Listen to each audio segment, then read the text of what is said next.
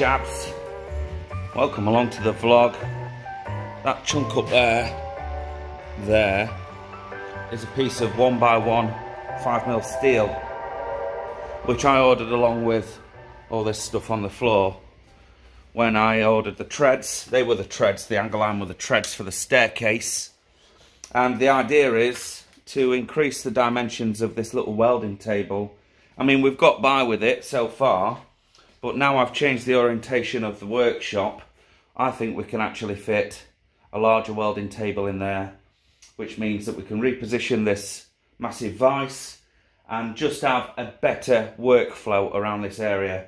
I'm also going to put the new welding table on wheels, then everything in the workshop, apart from the built-in stuff like this cabinet here, will be mobile and we can move them around if we need to make a bit more space, put them out there into the brewery space and then bring them back in when we're finished. So that is a job on the list, but it isn't for today. Today's job is going to be to finish off the staircase, which we have nearly done. There's just a few trims to go around the edge of the oak flooring, and then that is put to bed. I can come back out of the workshop, out of the pub then. And as you can see, the saw's missing from over here. That's next door we can start to put all these little bits away and probably start to crack on with another job. And one of those other jobs is I would like to make a mixing paddle for the mash tun using one of these plaster mixers, relatively cheap from Toolstation. So if I burn it out, it's not a big expense. The drawback, of course, is the uh, mixing arm is galvanized steel no good really for putting in the mash or you know having to go through an acid wash caustic wash and the like. The caustic will strip the zinc off straight away. So that's something that we cannot do. So I bought some little bits of stainless steel bar which are down there at the moment. But we've got like a I think a 16 mil shaft and then some 10 mil smaller pieces of steel which will bend. And we'll try and either emulate what we've got here because this does a pretty good job at mixing plaster so it should do a good job at mixing grain. And fail that if it's uh, not working quite as well we'll weld on some little paddle flaps or something like that to agitate the mash a little bit more. And we might even at some point be expanding this project to something that can bolt onto the top of the mash tun so it wouldn't be at risk of getting wet because of course if I drop this in I have to run away. Of course it will be. It will be situated and uh, implemented via a ground fault uh, GFI D. So uh, I don't get electrocuted you know an RCD residual current device whatever they're called but at the moment we're going to use it manually when it's made. Just got to weld up the components and make sure everything fits. I wonder if I could just use a bit of threaded bar stainless steel threaded bar. Well we'll see. We'll come to this project another time but this is one that's on the list so I'm just going over all the steel that was delivered the other day and that obviously involves the new welding table, the angle iron for the treads upstairs, and some stainless steel for a badass mash tun mixing paddle. And the heavens have opened. Oh my goodness. Well, it's a good job we've got this uh, massive tent that nobody's enjoying. Friggin' lockdown.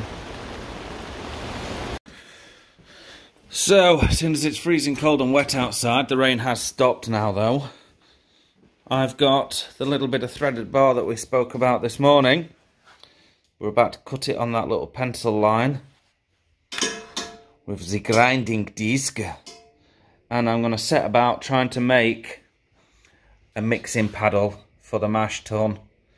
Hopefully this will work. I think we're going to need some more bar than what's showing. I don't know. We'll see. We'll see. We don't know until we brew. But what I do know is that I can't find any M14 threaded rod to weld onto the end.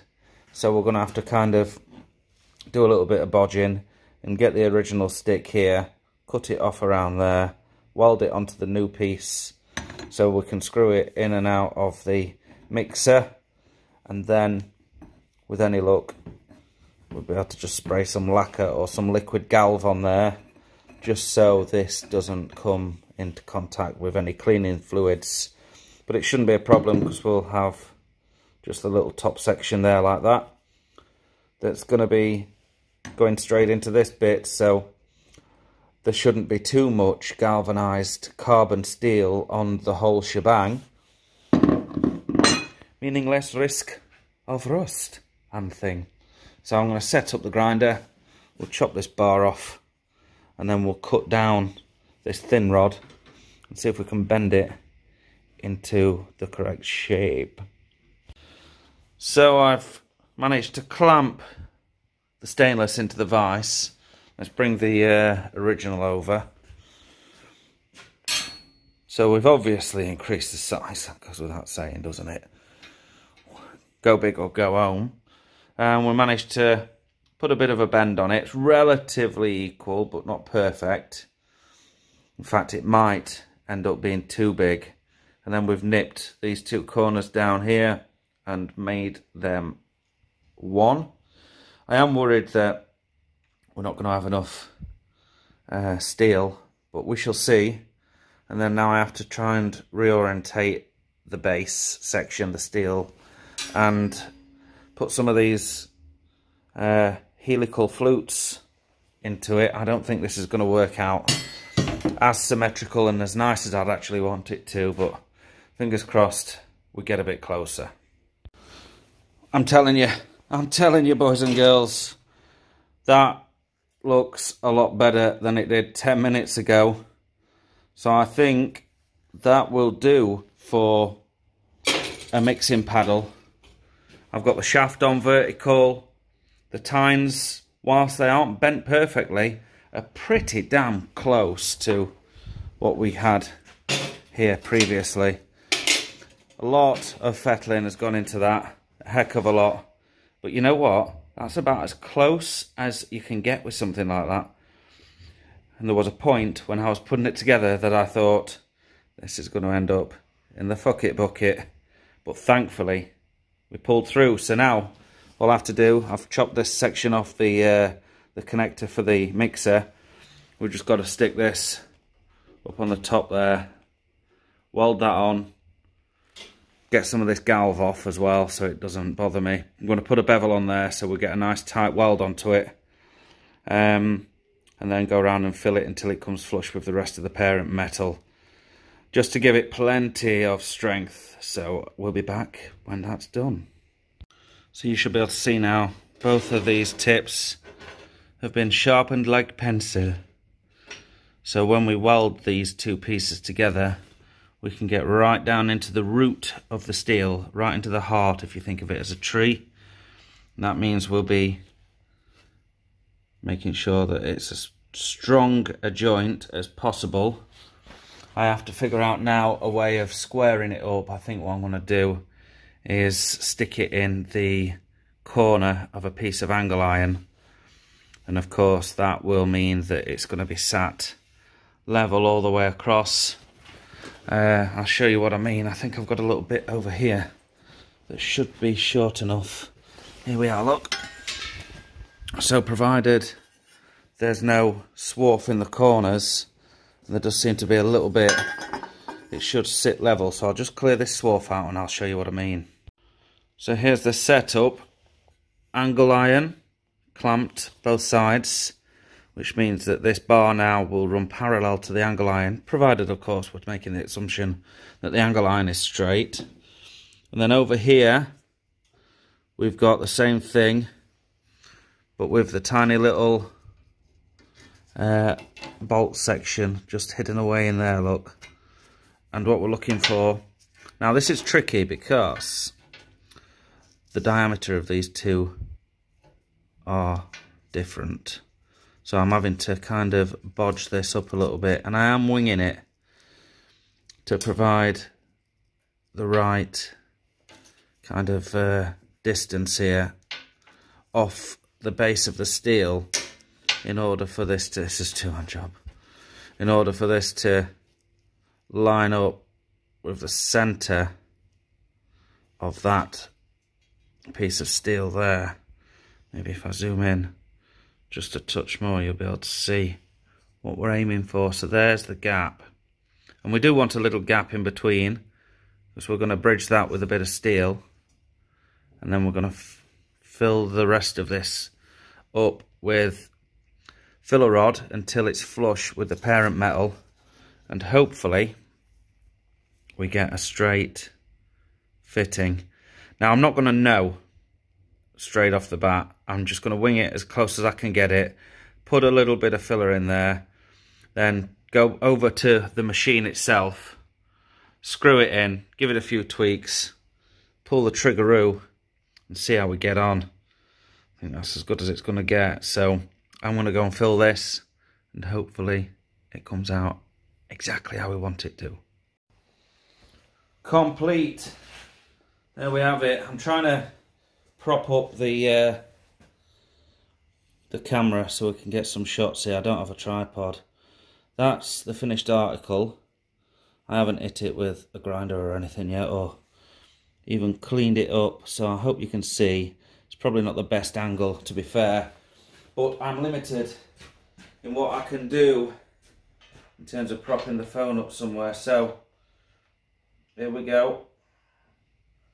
Screw this bad boy onto the mixer. Oh dear me, I better smack myself in the face with it then. Not if you saw that. Right.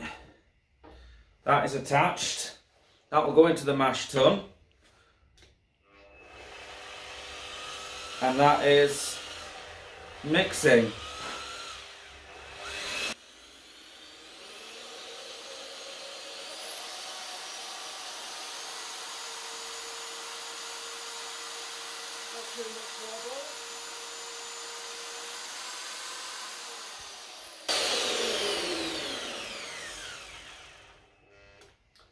Well, if that don't do the trick, I don't know what will. There we go. Let me uh, take the camera. I've actually got it. Oh Jesus! I've got it in the uh, in the vise of all things. But what do you reckon, folks? Mixing paddle, a la HarryBrew 69. You can probably buy one of these in stainless steel for 40 quid from bloody eBay.